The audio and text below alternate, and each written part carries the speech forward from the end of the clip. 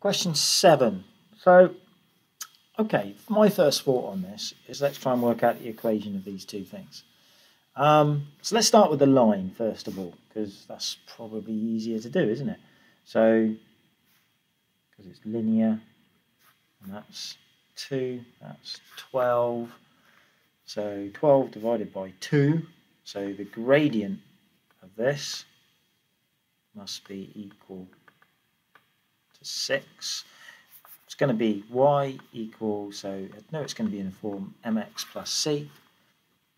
I know the gradient is 6, and I can also tell straight away that the y-intercept is 25. Okay, so that's the nice one to do. Right, now it tells me that this is a quadratic function, and it also tells me that the minimum point is this point just here, minus 2, 13.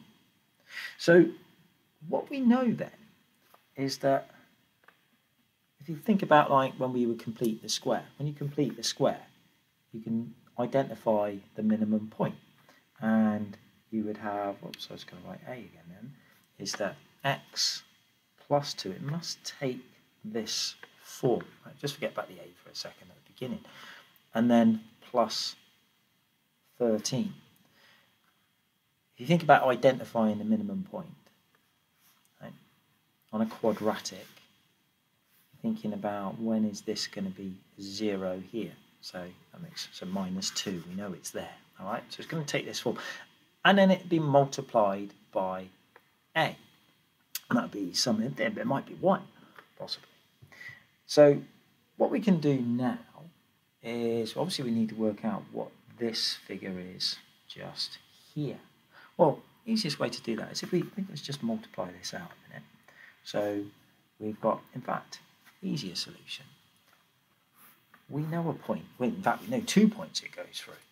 Let's think about that 0, 25. If I put 0 into here, the answer is equal to 25, okay, when I put 0 into there. So let's do it, because that's going to be the easiest way forward on this one. So let's put 0 in, so that becomes so 2 squared, multiply that a, add 13 equals 25. So a times 2 squared must be 12. So a times 2 squared must be 12, so a, a must be 3. So this quadratic has to be 3 x plus 2 squared add 13. And the linear part, the line here, is 6x plus 25. Now the question actually asks us to, to, find this region here using inequalities. So all it wants us to do here is to write down, well, it's less than the linear part, isn't it? So it's less than the 6x add 25. And it's more than this part just